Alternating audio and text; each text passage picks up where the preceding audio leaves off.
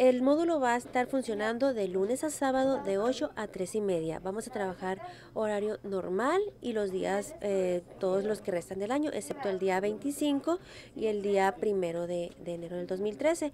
Y pues para las familias que no van a salir, pero que su seguro popular está vencido, por favorcito, para que vengan al módulo. Estamos ubicados por la avenida Obregón, entrando al Hospital General por el área de especialidades. A mano izquierda está el módulo. Eh, lo que requieren las personas para reafiliar o renovar su seguro popular es traer comprobante de domicilio actual, no mayor a 60 días. Puede ser un recibo de luz, agua, teléfono o su identificación del IFE también nos sirve como comprobante. Una identificación oficial con foto que esté vigente, puede ser licencia de manejo, pasaporte mexicano y la IFE también y la CURP o el acta de nacimiento de los integrantes.